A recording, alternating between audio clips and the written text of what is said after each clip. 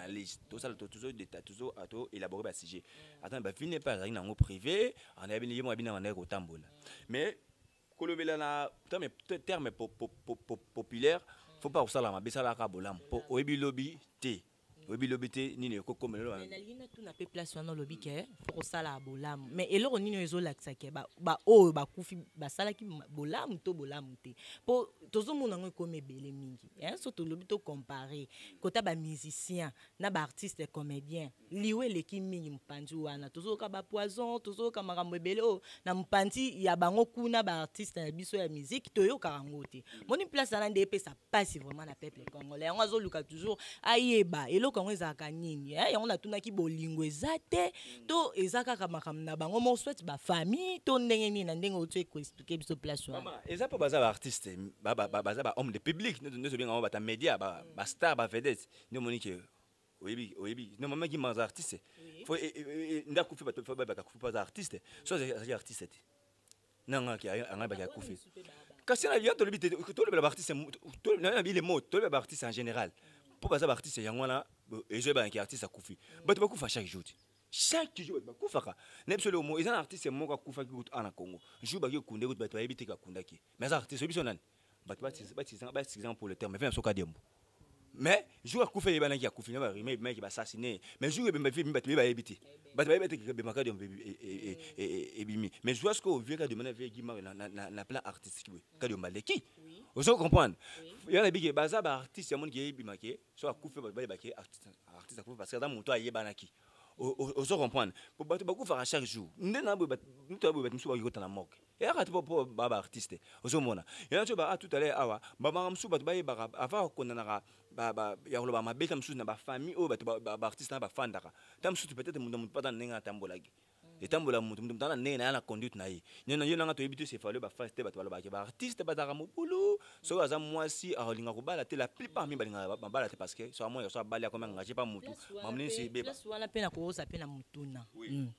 sunga biso mpe mpo biso toza na mpona koyekola mpona koyeba siko eloko nini oyo eza lokola cause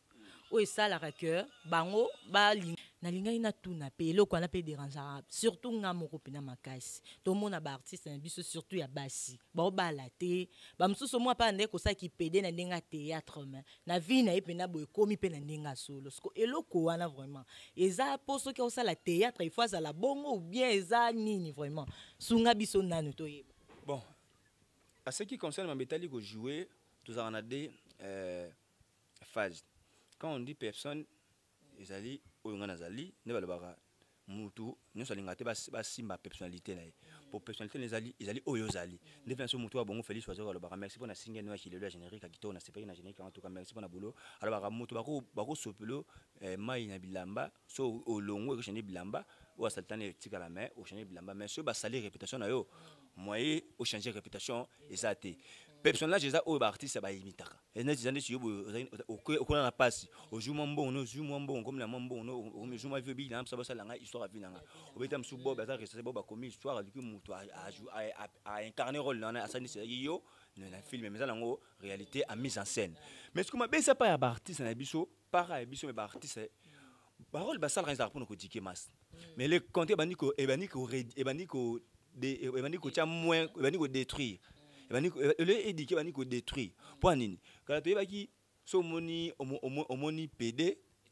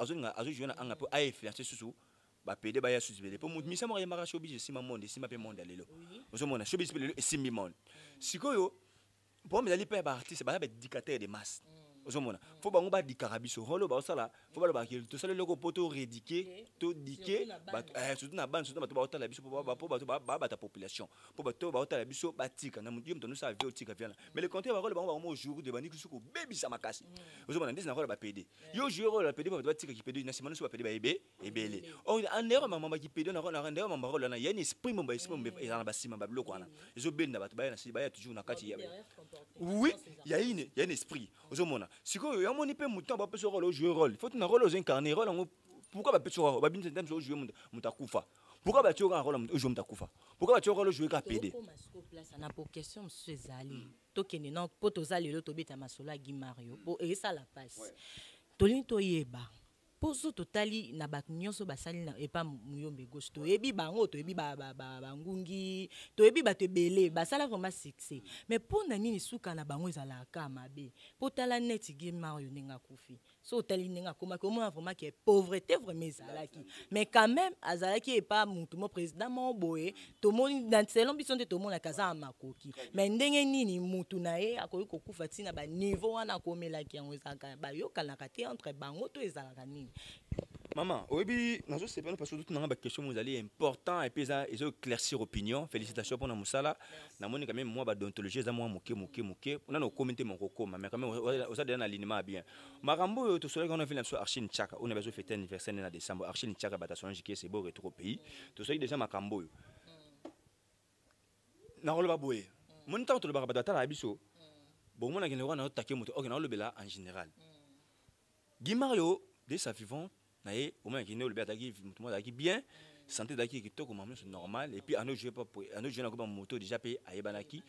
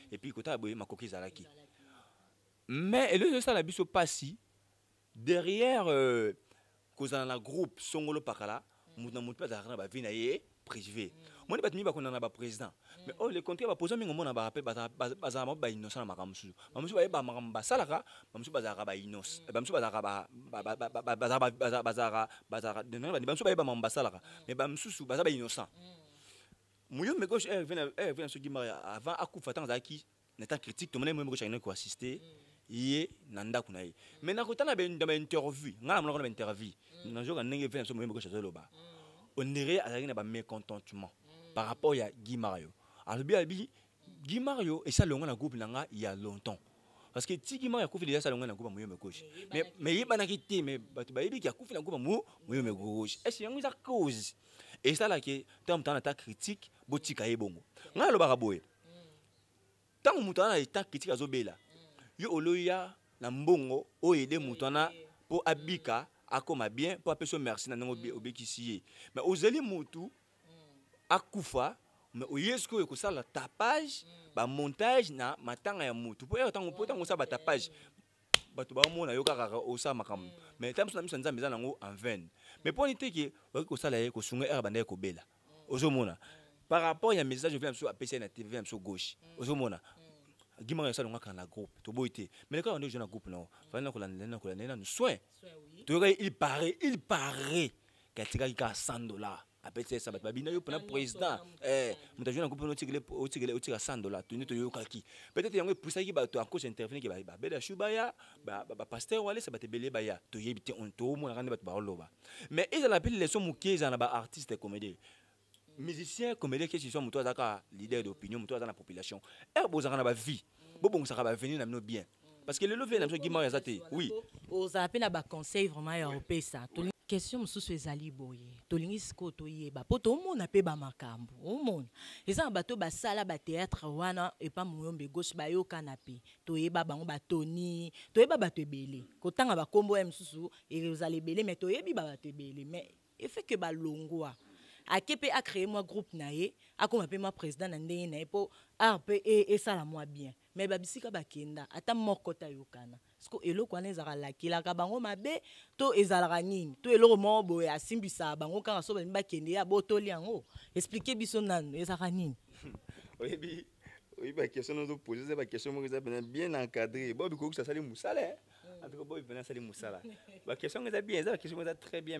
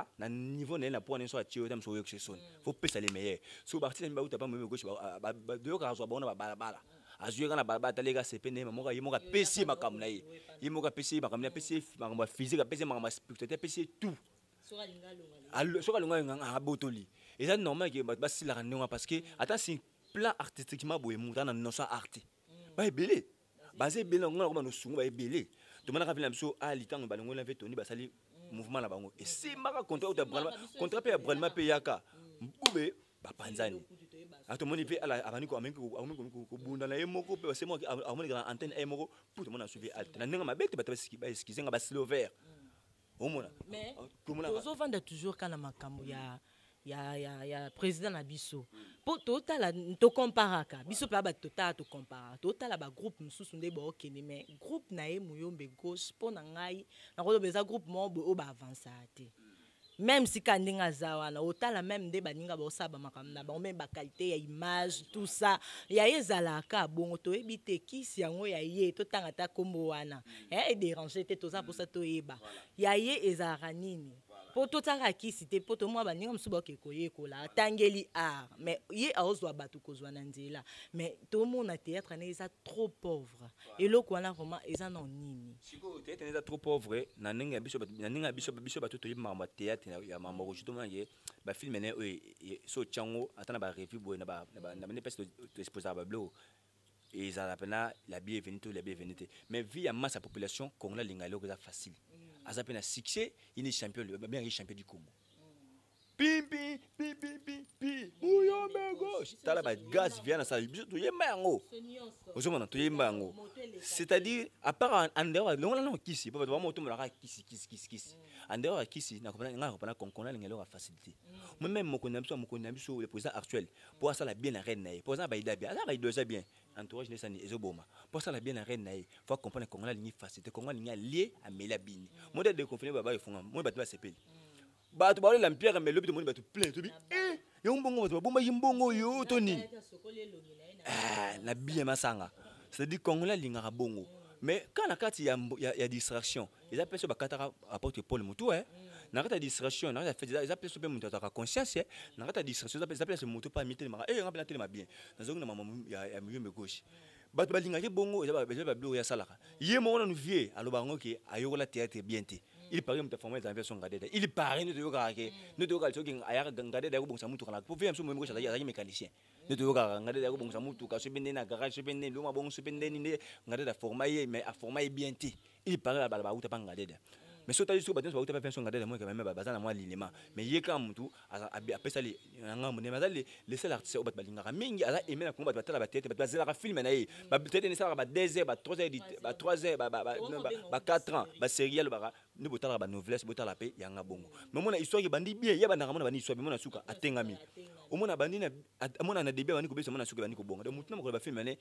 eyebanaka te kaka bato batala yango nde bayebaka sens ya babiloko asalaka moi personnellement namonaka mpe na importance na yango te mais na début aka bande na bambonge bavie so toni bavisa basera na bato mpo azalaka na bato ya mitu e omona meke bafilme lokola mutu na nga telema okunda nga bafilme ani esala baeffet ezala baévénement mais nyonso balongo ekipe nyonso ezala su te omonake mwa gsa nini échangea nangi naloba no boye eloko moko fo yeba moni congolais alingaka te ke moto abanda kodirige ye kaka jusqu'à la ya dernière souffle na ye c'est-à-dire abandaki na yo bien aolinga te mpe kaka sukisa na yo kaka yo bandaka kaka toujours kodigisaka ye ntina suka ezala ntan moko ye mpe aolinga alonga asala carrière na ye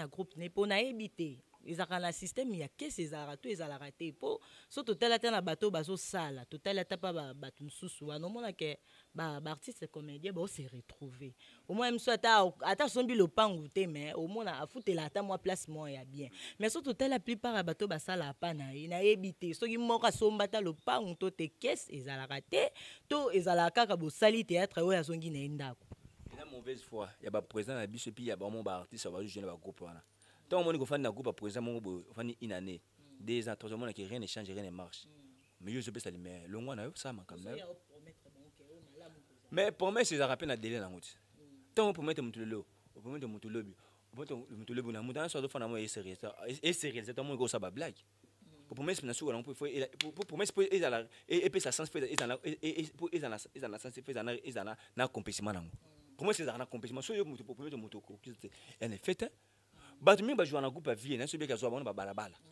yango mona eza mpasi moto alongo aevole ye moko eza mpasi mpo artiste mpe alongo asali mpe guerre na ye mpo aotalake ngai nazwaki ye na balabala aza produit na nganga momona babingi babiye moko apesaka baartene maloba loba boye yo ozopesa ye oyo oyebi mi alingi ye azopesa oyo azalaka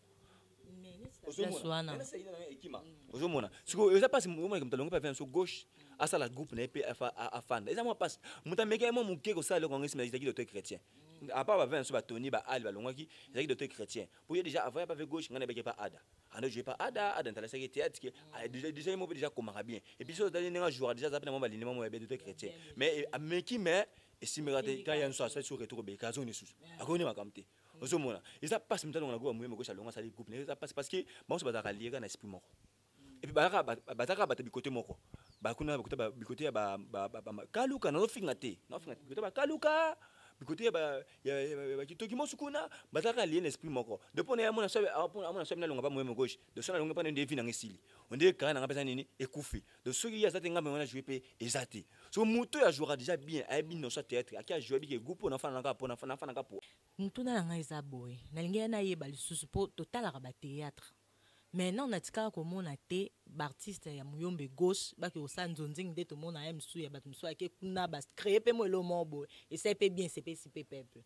non tomona te ye asalaka bongo mpo baavance te afrenaka bango to ezalaka ndenge nini eloko wana vraiment peuple aza na mposa ayeba yango mpe bon mpona question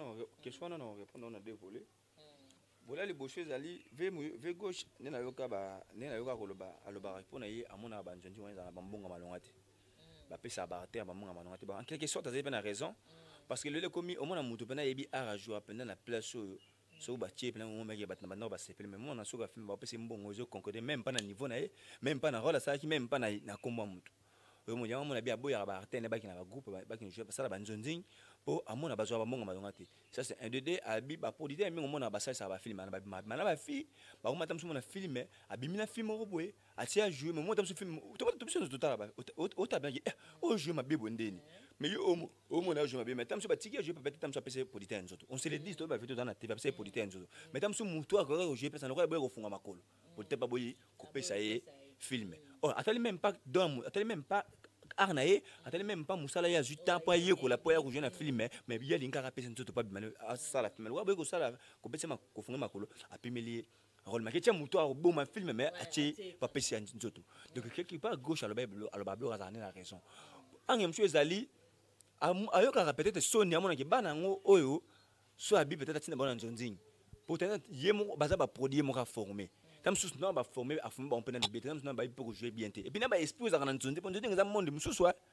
nzoninga lokola championnat calcio kuna babukaka kwata obrillaka makasi na groupe no bato bayebi yo mais yo kuna na nzoni bacoci yo bokojoue te omona bajelekaka wana trop omona ata mosusu abangaka ata mosusu na baguerre wana parce que théâtre eza, eza esprit mobimba eza kojouer kolata tout eza esprit mais soki omona bartemi bazalaka mpa na ye bazalaka trop parfum trop parfum bazalaka kokangama omona babimaka te kasi kozi ezali parce que azwaka bango mingi na bandako na babalabala na bacité aza acteur oteke avaya pana uta na groupe mosusu mm. ajouaka des omoni eza bato bajouaka pa ve gauche ta mosusu afaya pa ve gauche alonga asali carrière na ye mpe ta mosusu asali succès mm. tala moto ana bien ta mosusu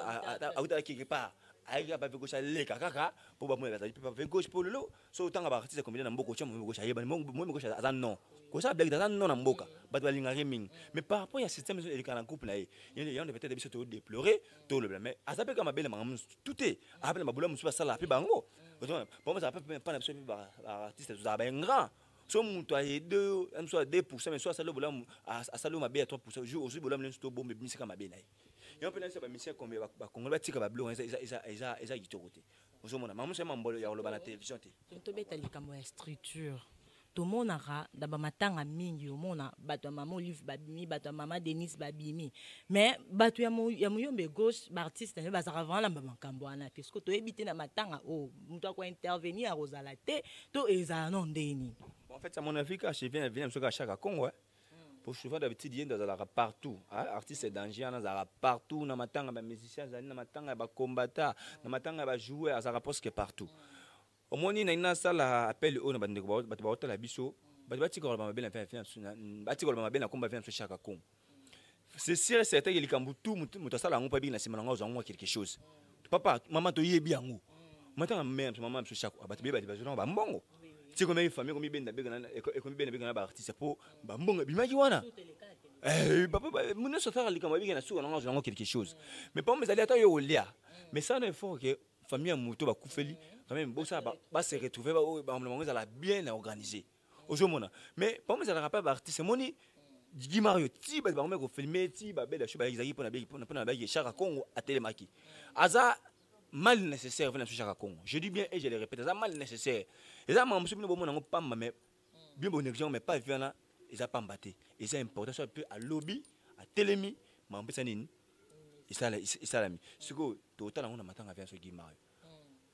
Est ce que ndenge balelaki Maman Shako, bien que on se le dise, ba Maman Shako na vie na biso kima ya ba poids moto, Maman Shako ata icone abandi teteka depuis 1994 ti lelo a servi mboka pendant 50 ans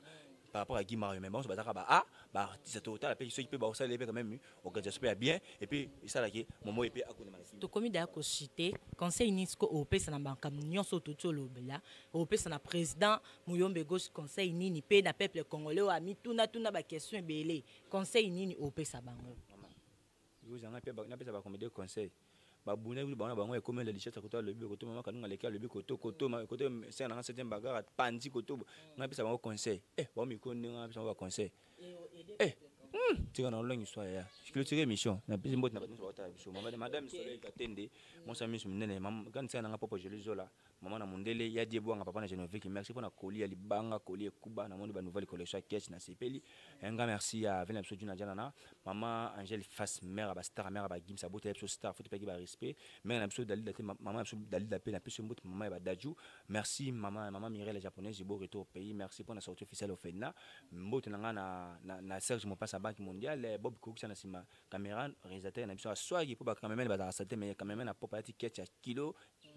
jina bien eloko ya bien donc ça montre que version nouvelle tv makambo eza kitoko un grand merci aussi à celui qu'on appelle euh, madame liliane liliane lilabel nangola olive mubiala mes condoléances ozo père de grand, grand frère non angola mes condoléances olive mubiala mes condoléances na présenter ba condoléances na nga na famille biologique ya olive mubiala et puis césar loboko le grand monseigneur muta de kofina paris monseigneur prince béton et ba ta mère judith massasou un grand merci à madame sika loboko mère nzulu kabeli pasi ya mama angele lokwa lumière soleil yo nakobosano te lumière soleil lumière soleil moninga na ngai ya ntango nyonso lumière soleil la mama de croix triple mama na crisidi giovanni azarel lumière soleil autrement dit sandra na belgique balinga bakabola biso batya basongisongi me basambwe napesi yo mbote vraiment esika ozali un grand merci ya masa na ngai boris mille esprit boris mille esprit na kati ya paris wana balobi moninga ya vene na biso patrick mbaki chef de gouvernement epuis mbote na yo mpe na babono sur chaîne na biso merci tokomi